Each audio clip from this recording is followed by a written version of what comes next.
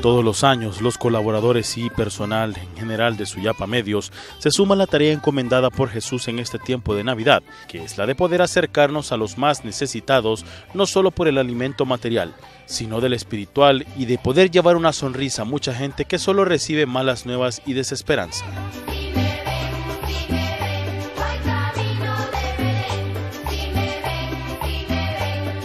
Desde horas tempranas de la mañana, los víveres dulces y demás fueron cargados uno a uno en cada uno de los vehículos destinados a poder llevar esta carga de amor hasta la colonia Nueva Suyapa, en donde muchos esperaban con ansias.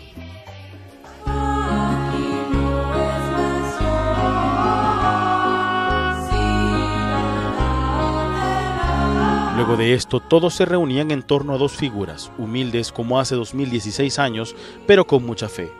María y José hacían su aparición en un borrico que recorría las calles de la Nueva Suyapa acompañados por una sola comunidad que se entremezclaba con los miembros de esta familia de Suyapa Medios y los habitantes del lugar, conformando un conjunto que llevaba en su corazón un solo propósito, escuchar la buena nueva de la proximidad del nacimiento del Salvador.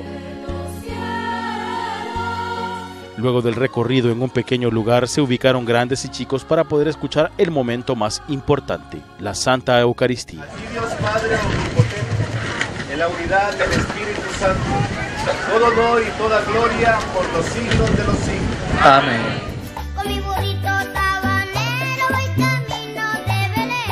La tradición de las posadas nos habla que se deben romper piñatas para simbolizar la destrucción del pecado por ello que se preparó un espacio en el que llegaron niños y niñas para poder participar de este momento que se vivió con mucha intensidad.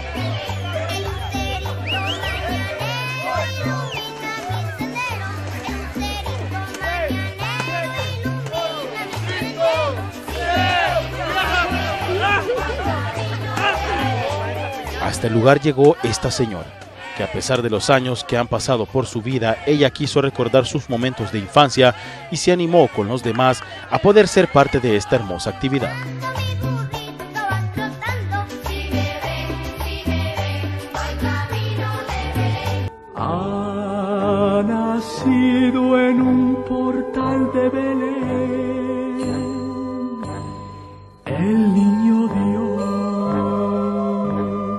Poco a poco las filas se hacían en torno a un pequeño lugar en donde uno a uno se les fue entregando un pequeño presente, con el que podían disfrutar un rato ameno en familia, en compañía de la gran familia de Suyapa Medio.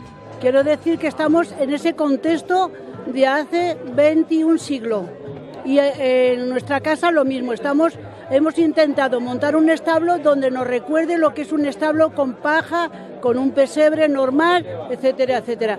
Pero eso es ya, digamos, pues que uno lo lleva en el corazón y lo intenta plasmar para que ayude más a las personas de forma que sea una cosa real y no ficticia, ni tampoco sea a nivel de, de comercio, sino una cosa real. Sor Emi, como la conocen, hace un llamado al igual que su santidad Francisco a hacer lío en las diócesis y salir a las periferias como ella lo ha hecho desde hace años atrás. Yo estoy muy contenta con el Papa Francisco porque vamos por la línea de, de integrarnos con los necesitados y con todo pueblo de Dios, porque todos Dios nos acoge como verdaderos hijos suyos. Los directivos de Suyapa Medio se hicieron presentes en esta actividad, en donde al final ellos sacan de esto una enseñanza más para los que dimos que los que recibieron. Nos preparamos para recibir a nuestro Señor Jesús.